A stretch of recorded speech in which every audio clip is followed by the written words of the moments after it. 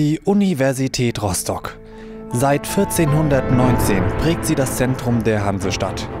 Sie durchlebte viele Epochen, Staaten und Bewegungen, war Zeuge großer Errungenschaften und Tiefpunkte, wurde geformt durch das Denken und Wirken von Generationen. Über 200.000 Menschen haben hier geforscht, gelehrt, gelernt und dabei sechs Jahrhunderte Universitätsgeschichte geschrieben. Wir wollen die jüngere Geschichte greifbar machen und haben Zeitzeugen eingeladen, die Universität Rostock ihrer Zeit zu schildern. Edith Buchholz wird am 16. Oktober 1935 in Magdeburg geboren. Nach dem Abitur plant sie ein Studium in Leipzig, wird aber nach Greifswald umgelenkt, wo sie 1959 ihr Diplom ablegt. Ihre berufliche Laufbahn beginnt Edith Buchholz bei Radio Berlin International und liest englische Rezensionen zu Kulturveranstaltungen. 1961 wird sie Lektorin und wissenschaftliche Oberassistentin an der Universität Rostock. Zusätzlich absolviert sie ein Fernstudium für Elektrotechnik in Mittweida. Mitte der 1980er Jahre wird Edith Buchholz zur Hochschuldozentin am Institut für Fremdsprachen in Rostock und später zur Professorin für angewandte Sprachwissenschaft ernannt.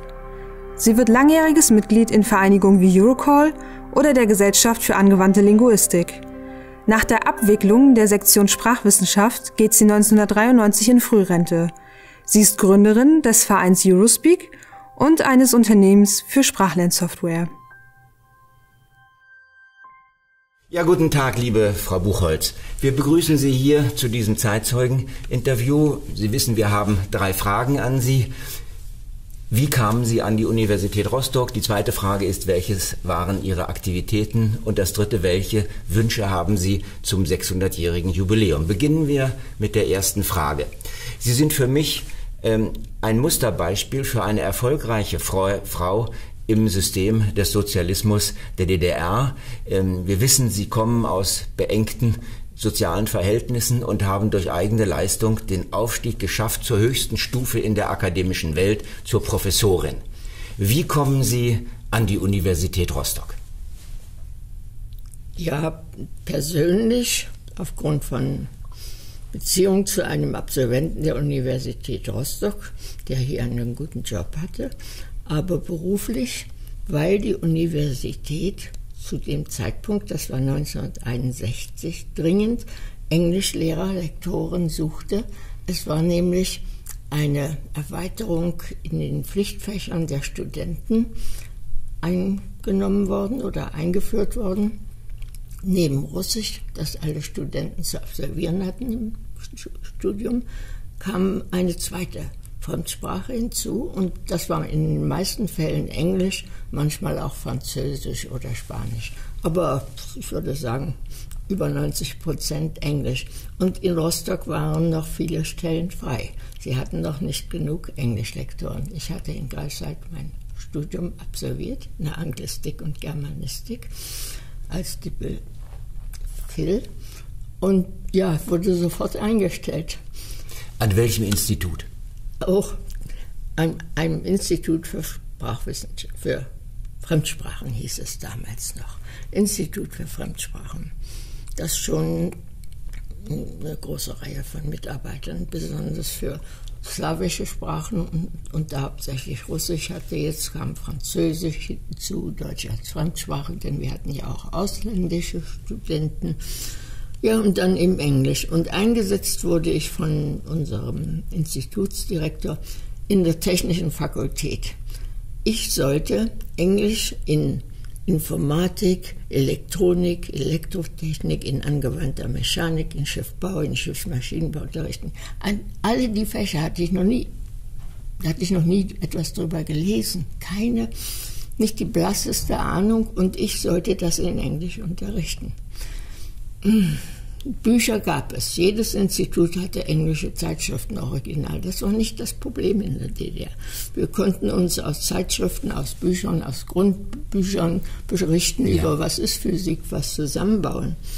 Aber das war ja alles Hilfswerk. Also bewarb ich mich für ein Fernstudium in Elektronik und Informatik. Fünf Jahre dauerte es. Nach fünf Jahren hatte ich den Ink erworben und die Scheu vor der Technik doch ganz schön abgelegt. Nicht, dass ich alles wusste. In den meisten Fächern war ich noch immer ziemlich ahnungslos, aber ich wusste, man kann es packen. Das war die erste Qualifikation. Ja, ja, hier an dieser Universität. Dann wurde ich gleich nach Zagreb geschickt, denn man hatte inzwischen Hilfsgeräte für das Erlernen von Fremdsprachen gebaut, sogenannte Sprachlabore, ja. in denen die Studenten etwas lernen konnten, was wir ihnen nicht so gut beibringen konnten, nämlich das richtige Aussprechen ja. dieser fremden Wörter. Wir wussten manchmal selber nicht, wie die ausgesprochen werden, obwohl ich eigentlich eine gute Ausbildung in Greifswald genossen habe. Also Sprachlabore, ja. Das Material gab es auf keinem Markt zu kaufen, die Sprachlabore schon.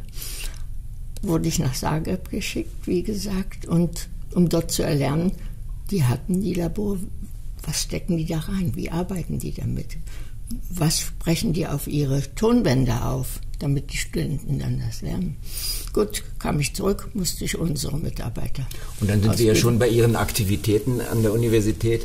Das heißt also, Sie haben nicht nur die Stelle angetreten, sondern Sie haben die methodische Innovation betrieben. Das heißt methodisch Einbeziehung jetzt der äh, Technik, das heißt der, äh, der Tonbandaufnahmen und Wiedergabe, also der Sprachlabore. Äh, wie kamen die Sprachlabore denn an die Universität? Gab es die plötzlich oder wurden sie beschafft? Ja, sie wurden im RGW, ich weiß nicht wo, Rat für gegenseitige Wirtschaftshilfe, ja.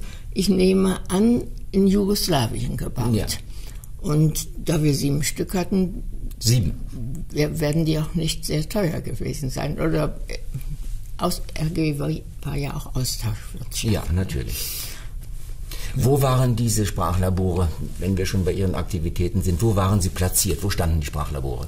In ehemaligen Hörsälen, die umgebaut wurden, ja. im Hauptgebäude, in der Medizin, in der Technik, in der Agrarwissenschaft, ich weiß nicht, in der SBW, Betriebswirtschaft ja. heute.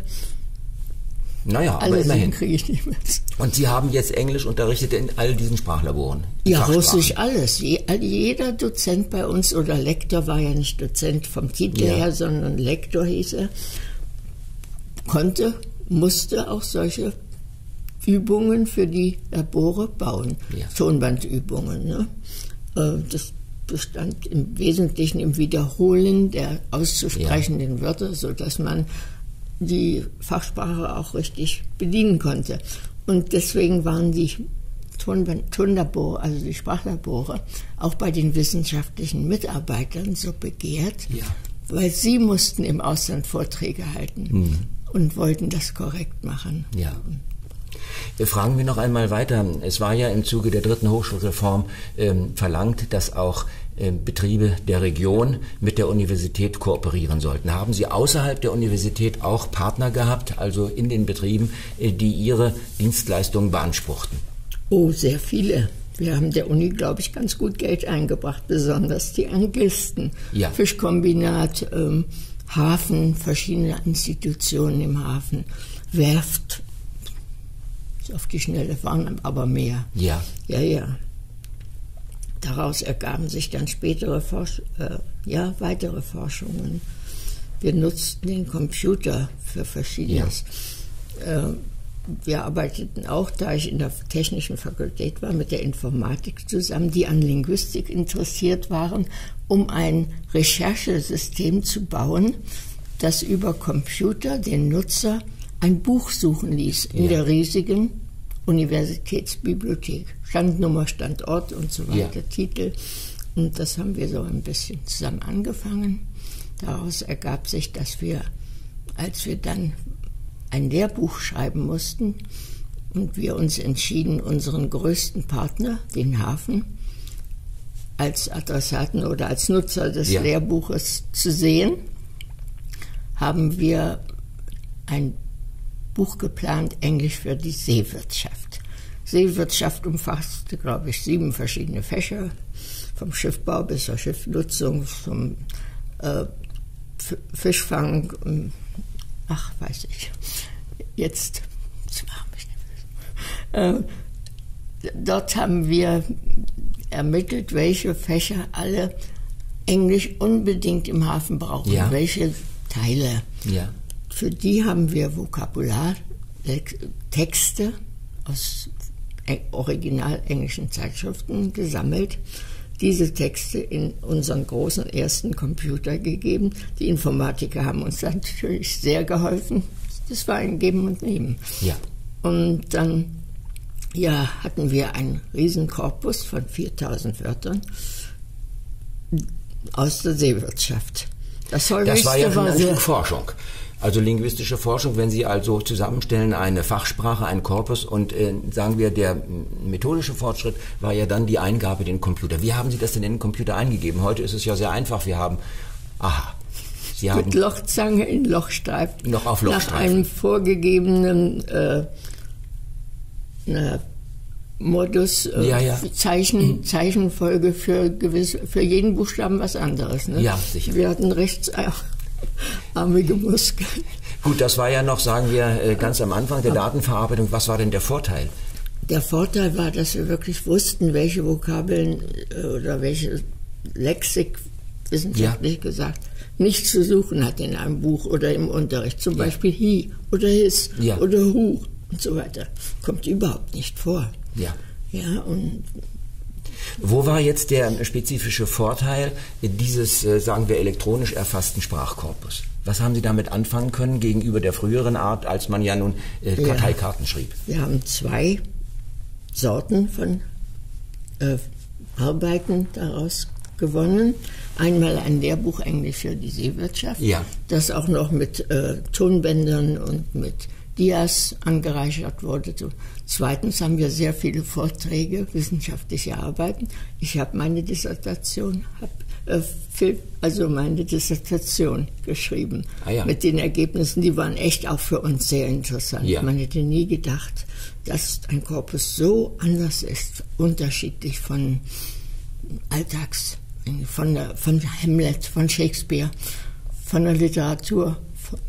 Das war schon interessant. Ja, das war dann mein nächster Titel, Dr. Phil. Ja, da waren wir bei der äh, Qualifikation. Also die äh, Zusammenstellung dieses Korpus war ja Forschung und ein Forschungsergebnis war also Ihre Dissertation, äh, der Titel des Dr. Phil.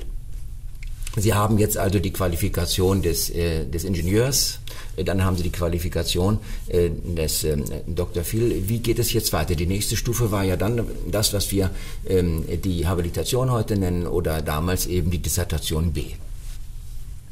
Ja, zwischendurch waren viele andere Vorträge, Sachen im Ausland, Aufträge. Aber es blieb immer unser Hauptpartner der Hafen. Und der Hafen wollte, zahlte natürlich nur, insofern war er wirklich ein Wirtschaftsbetrieb, gegen Leistung. Ja, sicher. Wir wollten also Englisch unterrichten, das sie brauchten. Ja, was aus unserer Sicht braucht der Hafen? Sicher. Also haben wir zwei Forschungsteams gebildet, oder die einmal in Englisch und dann im anderen Fall in Russisch Fragebögen erarbeiteten, die wir im Hafen an alle Betriebe und dort an alle Ja. Mitarbeiter schickten und die, die auch eifrig ausfüllten und zurückschickten, sodass wir dort auch ein nutzbares, ein verifizierbares Korpus hatten, was braucht welcher Mitarbeiter im Hafen an Ja. Englisch oder an Russisch. Ja, so. Und die Konsequenz? Ja, unter anderem dann eben in den Kursen primär gedacht, aber sehr viele wissenschaftliche Arbeiten auch wieder, Ja. weil das auch nicht, noch nicht so erf- verfasst war, was braucht welcher Mitarbeiter. Ja. Braucht der Kadermitarbeiter bloß Fragen des Mitarbeiters Ja. oder muss er auch wissen, das Fach, wo er Ja, ihn sicher. einsetzen will und so weiter. Das hatten wir alles vorher noch nicht so. Aber jetzt die Rückwirkung auf Ihre Praxis. Haben Sie danach Ihre Kurse eingerichtet, nach diesen, äh, sagen wir, äh, ähm, Ergebnissen der Fragebögen? Ja, wir haben zumindest die, die wir dort durchführten, stärker darauf ausgerichtet. Wir haben nicht neue Bücher geschrieben gleich, Ja. oder das, das ging auch nicht. Aber immerhin, es war ja dieses das Ergebnis der dritten Hochschulreform, dass also die äh, Universität kooperiert mit den großen Betrieben ähm, Ja. in der Region.